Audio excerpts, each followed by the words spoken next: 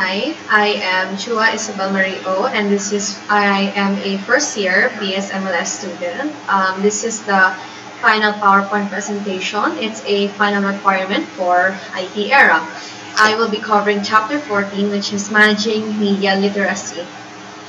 So the intended learning outcomes. So what I wrote here is to understand what media literacy is, searching for information and how misinformation can cause negative effects to those who can who come across it. Validating credible sources upon searching information for research, understanding copyright issues, and the lesson summary. So what is media literacy? It is the ability to access, analyze, and evaluate create media in variety forms of communication. It is how people perceive media and evaluate data to identify types of media and to understand the messages they're trying to send. Understanding the reason of one's form of media is the basis of media literacy. So, media literacy is not just one form of media. Um, it can be published articles, it can be published uh, journals, or it can be videos, uh, platforms actually, or blog posts. There's different kinds of forms of media. It can be uh, video, text, art, everything. And how we interpret it is what is the basis to understand the reason. Uh, we can understand the author's reasoning for why they put out that work or why this artist put out that work. And I feel like that is the form of media that's very important in media literacy. So the, one of the most fundamental insights of media literacy is that the form of a medium influence how we read or experience a text. While this remains true in digital media, the network effect means the architecture of a platform, everything from the user interface we interact with to the algorithm that determine how it delivers content to us affects not just the meaning of the message, but of digital media, of our own behavior when using them. So for media literacy, um, it's, it, it influences how we read or how we perceive a text. Um, it's how we interact with different algorithms and how how it delivers content to us and it will be further elaborated when I talk about search engines and how things become more accessible to us while it gains our personal information how uh, how it becomes relevant to us. But here, it changes our behavior. It affects our behavior when we look at that content. So, persuasive intent of advertising and resist the techniques that marketers sell a product to an audience because of how people are to perceive and evaluate the data we can identify point of view of the creator and that media and their intention behind it um, so I think one thing that I can cite with this is that most advertising in the Philippines, um, I think because there's a very big market for it, is about beauty brands, and the way that they sell their beauty brands is how they um, is how they is how they power insecurity um, to their buyers. That's why they always push this narrative that white skin is more beautiful than dark skin, or being uh, looking more chinita is better than looking more morena. Um, so I think a lot of people have spoken out about this and they understand the intention of what these markets are trying to do. They're trying to sell their product, but in the end, they're trying to use our insecurity to influence us to buy their product. So this is how we evaluate the data and the intention behind how the market likes to manipulate the audience to sell their items better. So often, media speaks in biases. It means that a particular news station can cover particular news stations unlike... So um, this wasn't added, but media often speaks in biases. And I can say that this is true. Um, most media will usually, um, they'll usually cover just one form of the news. They're not covering all aspects of the news. So this causes a lot of people to um, misinterpret or misperceive. They can't. They they're misperceiving the um, the issue because of uh, how the news speaks so biased towards it. So we can, uh, per an example uh, for churches, especially Christian churches, um, they would love to advocate about um, their own bias, their own beliefs, but it's not necessarily covering what people believe.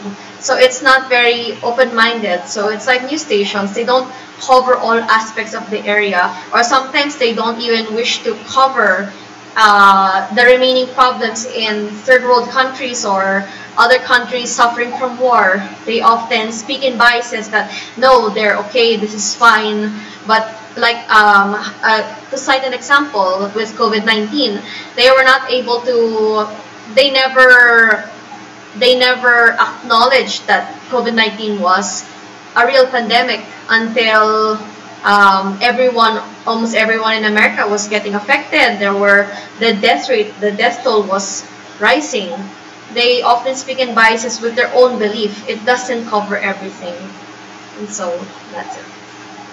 So the questions you should ask yourself when evaluating media literacy. Who created this? Why did they make this? What is the message for? Is this source credible and believable?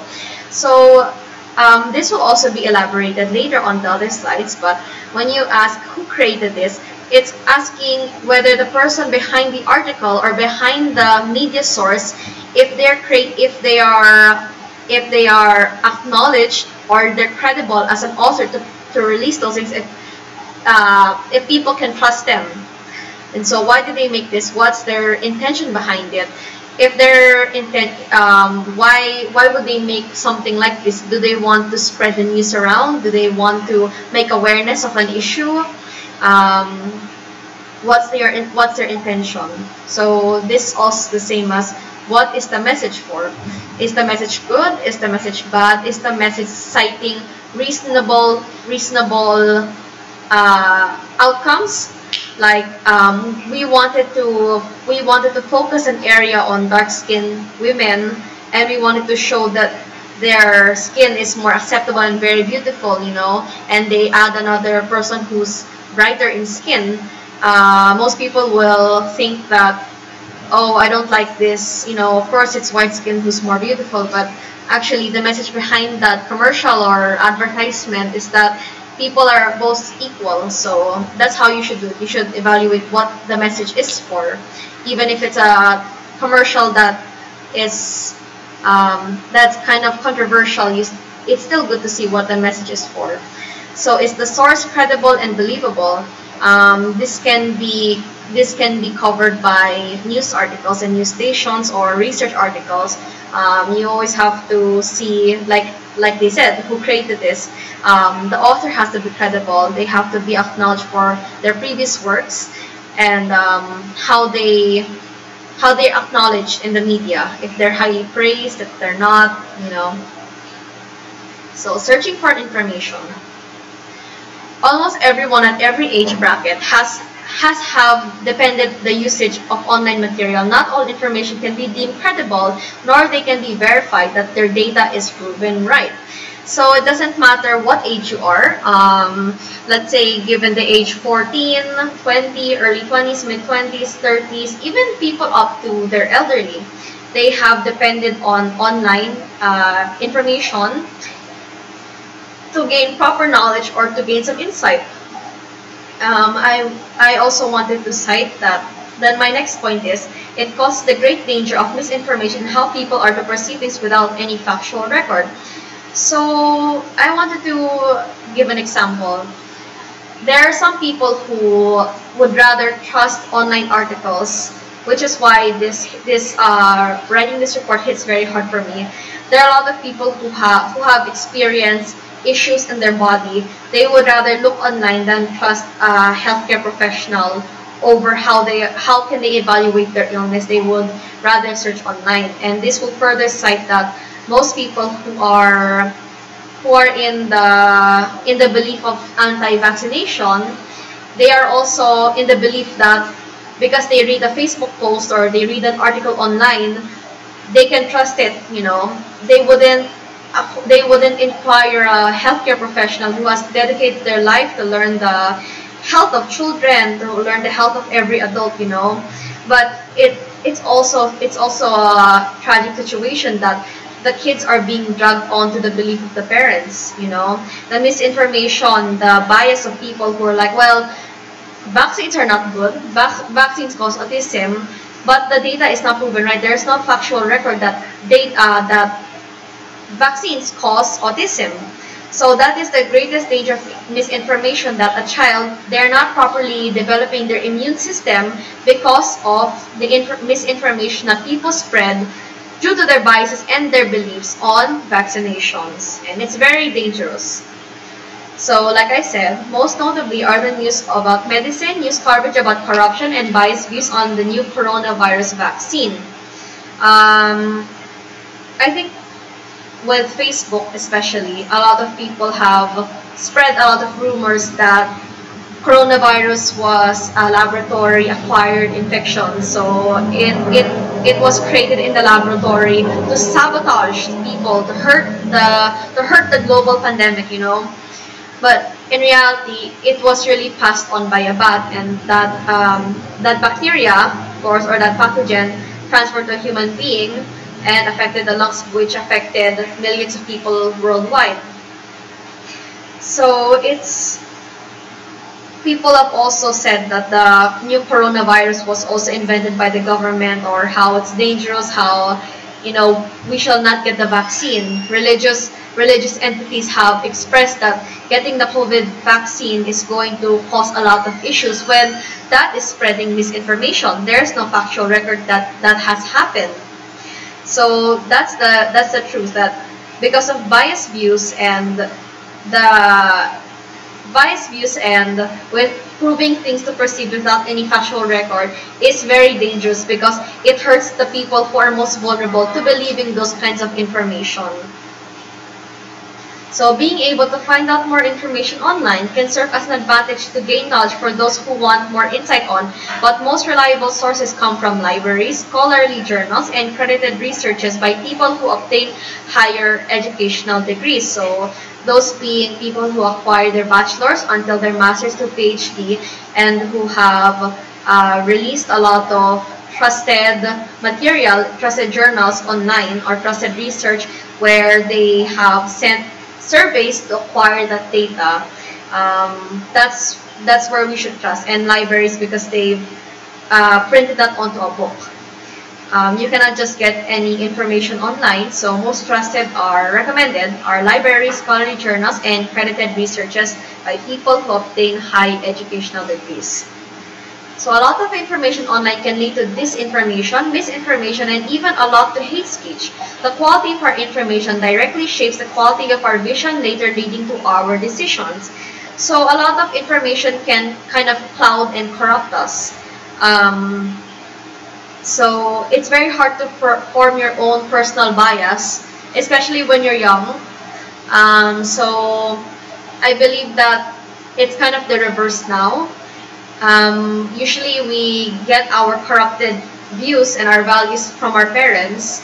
While they're not all corrupted, a lot of the opinions of what parents can give are it shapes the child's way of thinking. It, sh it shapes the child's way of feeling. So if a child were to if a parent if a parent's religious values were higher to hate on the LGBT community, the child later follows because the quality of the information shapes the quality of the child's vision, leading to his decision to hate the LGBT community. So it's very important. I, think it's the opposite effect now. When people go online, they can form their own personal uh, opinions on how they feel about the LGBT community on their own. You know, as they get older, as they are more independent from their parents, they're able to think for themselves. But most people who are very vulnerable, uh, they they can see a lot of information online and it shapes their vision. It shapes how they say things, how they decide on what to do, on what to feel on a certain matter. The negative aspects of spreading misinformation can cloud social media, especially when breaking news affairs break a headline. A lot of those misinformation that steadily spreads leads to fake news, causing unnecessary speculation and hysteric behavior. Um, I'm not sure if uh, what year this was in specific, but there was um, it was uh, I, I think there was a subgroup of ISIS that went to a province in the Philippines and they were uh, they stayed here. They uh, vacation. They not vacation, but they located here and uh, took a lot of people in captivity. And a lot of people they spread this kind of information on Twitter that if this number calls you in specific, then your phone is going to explode. So that's the kind of negative aspect of spreading a lot of misinformation. It causes a lot of hysteric behavior. Um, so it's like saying the COVID-19 is going to lead to a zombie apocalypse, you know. There's no factual evidence, there's no truth in that matter because the only thing it causes is the detrimental the, the detrimental effect of your lungs being affected where you can't breathe, you know, it, it won't cause any zombie apocalypse. So that's the negative uh, I think that's one of the most negative aspects because it causes hysteric behavior all around social media, you know. It's not just one person or hundreds of people. It can be thousands of people spreading that information and hurting other people and making them worry. And yes, across boundaries outside of social media, reaching politic ideologies and perspectives. But as we navigate the web, we have the independence to evaluate the information we come upon and decide how we feel about it. So despite the information shared online, whether it's uh, it, it negatively affects us or worries us to the point of hysteric behavior, we can still have the independence to think for ourselves, to evaluate whether this is real, to evaluate whether we can trust this source of information. So as with traditional media, these influences are not natural or neutral. They reflect beliefs, unconscious biases, and unquestioned assumptions of their creators. Sometimes these values will consciously applied if a platform designer considers freedom of speech their top priority, then protections from hate speech and harassment will be an afterthought at best, which will influence who feels free to speak and what kinds of conversations will happen.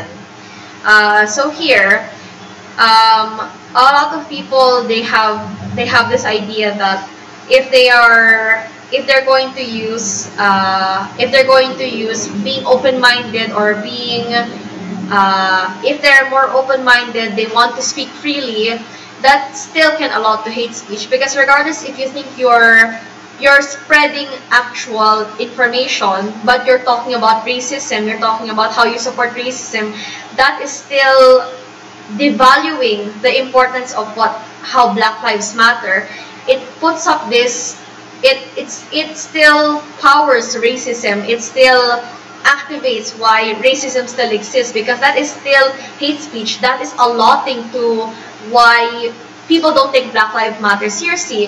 Why they why how it will propagate uh, how it will propagate racist Americans or racist Filipinos to look down on people who are not their own nationality or their own race, you know. So people have also, um, to also cite an important uh, matter is that some people have also used the idea that if they're going to say they they have uh, they have been bullied in the past or they have uh, they have been cheated on in the past, you know, relatively they do it to another person, they'll use it as the reason, well, I was cheated before in the past, I would never do something like that. You know, it's protecting or shielding them from something that they've already done. They cannot acknowledge the fault or they can they're neglecting the hurt that they've caused other people. So sometimes those values may be consciously applied uh, to a lot of influencers, you know, they can't really own up to their mistakes. And usually afterthought will be at best, which is uh, issue. So search engine technology. So information retrieval. A user query prompts engines to return results which are ranked hierarchically using trust and relevant signals. So web crawling browses the web in a methodical, methodical automated manner. So indexing. Pages are analyzed by titles, headings, and specific fields. This is the fastest form of search. So the most notable search engines are Google, YouTube, Amazon, Facebook, and Microsoft Bing. So um, I want to recite about I want to recite about Google. Okay, so with over 75% of the search search market share, one hardly needs to introduce readers to Google because everyone goes to Google if they want to search uh, information. So Google, the big appeal is that it has massive potential traffic. Um, remember, when it comes to search engines, they usually operate in a way that when you search in something, they will search relative to that subject, to your interest. So they'll usually gather your personal information and it takes only less than a second and then they will give you other links uh, that are that are of that same topic. So the big appeal of Google is, like I said, the potential traffic. The downside is that everyone else wants this traffic. So making organic search the most is competitive and paid search often is more expensive than on other sites. Um, so people are usually fulfilling their needs and intents directly on Google, but um, a lot of it can, a lot of a lot of cons can also be that sometimes the information they're given to us is not always important. It's not always relative. Um, it's not, it also wastes our time, you know, so that's the consequence. Um, so I'll talk about YouTube. So YouTube. So YouTube is about one of the most popular. It also allures the massive traffic, but it's also a pitfall for marketers and advertisers. Um, but for advertisers, it definitely helps that, especially I think out of all websites, YouTube, YouTube um, besides Amazon, has the strongest search engine because it acquires to everyone's taste. So um, you can so so a video can be put onto your radar because uh, it can sense that you've been watching videos. Um, like like me, I love Tekken matches, so it will put a lot of videos of Tekken matches because that that is keen to my interest. Uh, YouTube works very fast on search engines. But using YouTube is also a vehicle of traffic. Uh, but it cannot be underestimated that its impact is very powerful. Um, YouTube YouTube is very strong in that regard for a search engine because that's why it's one of the most popular websites. Everyone spends countless of hours because all videos uh, all videos recommended to them are based on their personal search bar. What they want to watch, who they like, and what they do. So yeah. Um, Amazon. So Amazon, they started selling books online, but it, it expanded rapidly. So unlike YouTube and Google, um, Google still search for items, but Amazon is more in touch with uh, selling it, uh, manufacturing items and of course the speed of looking for those relevant items. Like if you are searching for party items they will give you party materials and everything and the list goes on and on. So Amazon is making online shopping very popular and accessible. So um, its shopping searches not only begins in Google, but it really did begin in Amazon. Um, so the pros of the pros of it is that like Google, if you sell if you sell things and you people search for them, then you want to be on Amazon because your item will be on the search bar or your item will be listed there and it can be sold to the person. Um, although the although the consequence is that the competition is fierce, there's a lot of global markets around, and it's easy to compare and compete products. Um, entering entering that kind of business is also a lot of a stretch, but I think Amazon is thriving very well. Uh, Facebook. So for Facebook, um, it's a it's usually it's usually a go-to when thinking of search engines. Uh, it surpassed 2 billion searches a day, so it puts ahead of Bing. So a lot of people they uh, I think YouTube has now integrated shops like they sell items or they're trying to advertise more uh, products to sell people. They're also adverti advertisers are going there to put advertise uh, advertisements on videos so that not only the creator can earn money, but the advertisers get a lot of traffic from that as well. Uh, it also gives business and advertisers incredible market access and tends to be when they're not working. So it's a better situation. Although with Facebook, it's not really a. It, it's a. It's a. It's very visited. Uh, it helps with it navigates your search. It helps you search for who you like or the people you want to search for, like old classmates. It's more on the personal aspect of life. Unlike Amazon, it's for shopping. Unlike YouTube, it's for videos. But uh, Google is to search everything. So, yeah. Um, Microsoft and Microsoft Bing. So, for Microsoft, it has a lot of place in advertising space to catch up with Google. Uh, it improves the functionality of their keyword matches. So a lot of people will search a certain keyword and a lot of uh, options will pop up. A lot of links will pop up to those kind of, to those, to the same kind of topics. Uh, so it doesn't really have a market like Microsoft Bing. That I think that's one of its cons, but it's still a reputable search engine at the very least. So using search engine in technology. So this is more further elaborated. To be able to make pages relevant to almost any query, thus page relevance is no longer a major issue. So it's derived from a user's personal information. So going back to the first point, because they gather from the personal information, it's able to make pages more relevant to us. So if I were interested in competitions uh, in Tekken, they're going to recommend me a lot of websites uh, or a lot of shops that, that, offer tournaments locally because they know that's uh, more keen to my interest.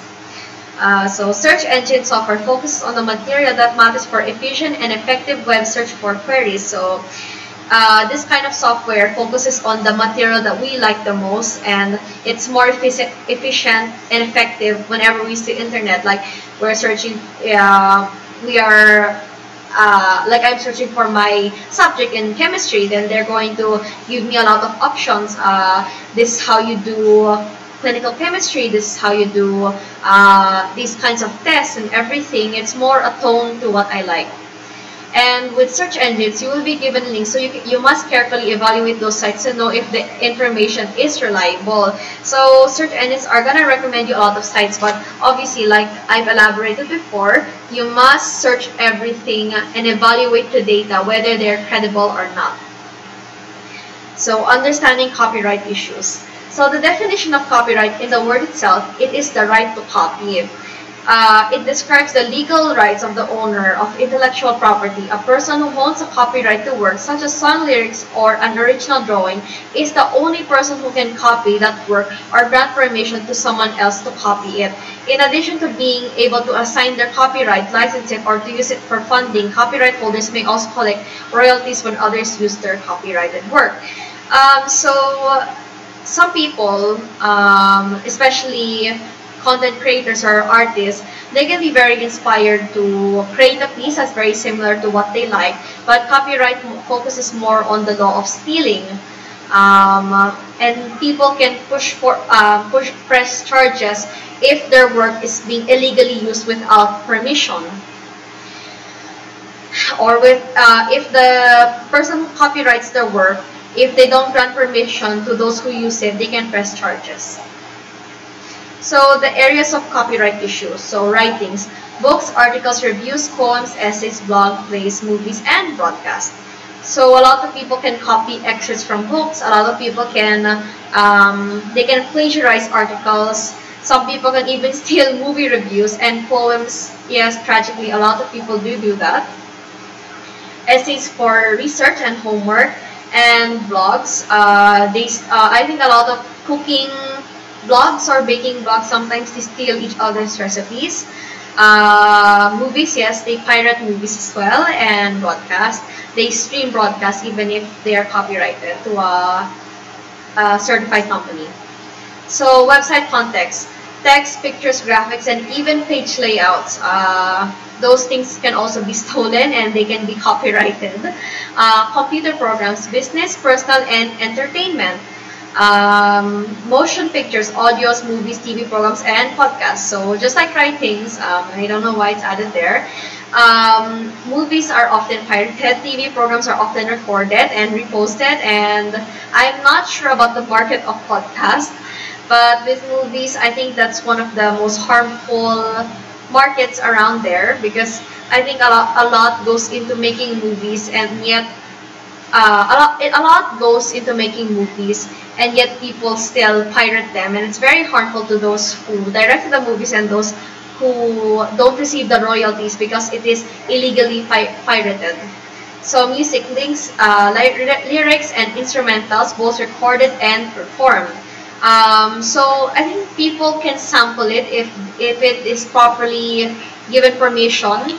But some lyrics are stolen and reused again and it's very hard to deal with that copyright issue because it might it might not necessarily be the same copyright it might not be the same copyright um, it might not be the same song per se but it can still have the same beat and tone. It it yes people do bring each other to court for that and instrumentals. Um, so paintings drawings sculptures graphics maps charts and photography uh, paintings and drawings can often be copied and resold or some people would even resell them in conventions which is very tragic because the artists are often not made aware that their drawings are being resold in conventions or other stores you know in the Philippines.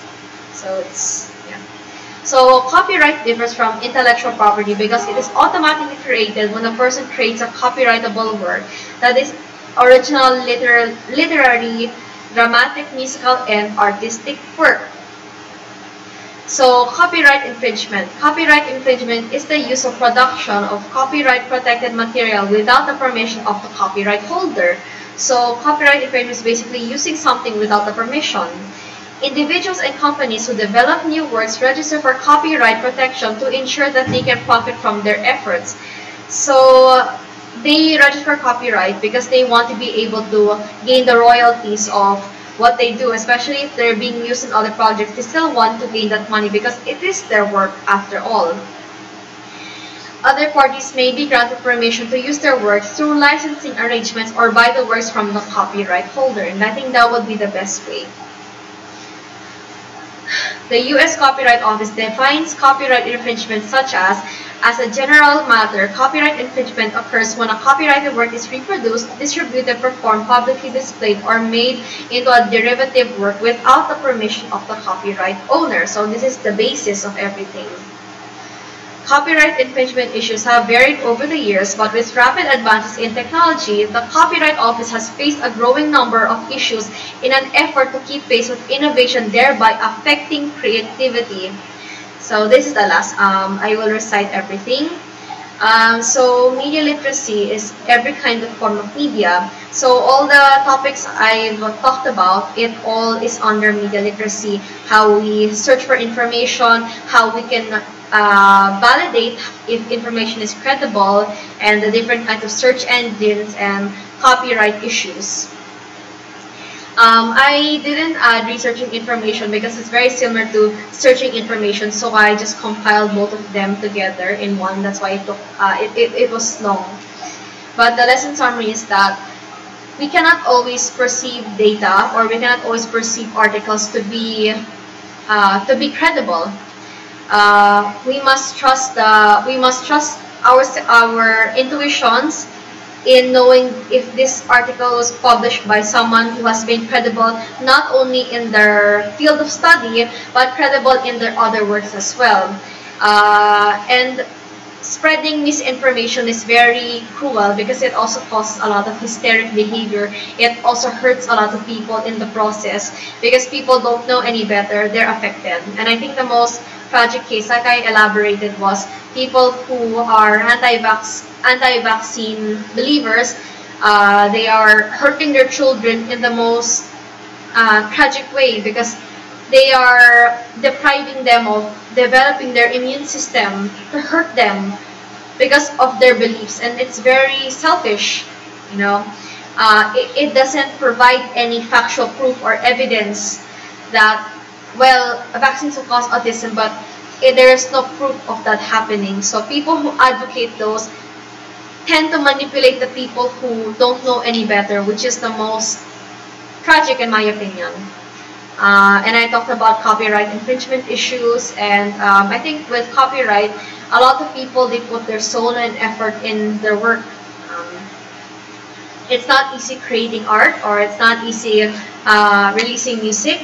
Um, so when people use it and manipulate them, manipulate the recording and make it as their own, uh, especially like a big artist stealing from a smaller artist, you know, a smaller artist they can't really provide uh, the the legal support to get their work back or to get the or uh, to gain justice, which is why copyright is so important because it solely belongs to yours.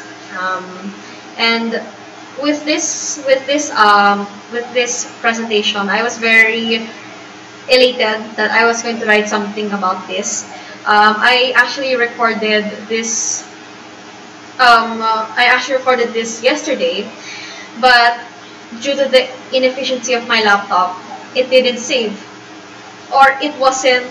Um, it wasn't it wasn't uh, it wasn't properly saved so it, it wasn't properly recorded which is a shame. Um, but yes I enjoyed making this topic. I hope this provided a lot of insight. Um, again I am Ysabelle Marie Ortiz Chua um, O is my middle initial. Uh, this is my final requirement for IT era. I'm a first year BSMLS student. Um, thank you for thank you to um, Professor Marmelo Abante for guiding me through everything and I hope that um, we can all, I hope that all of my lessons on phlebotomy and now media literacy can serve as information. Uh, thank you for listening.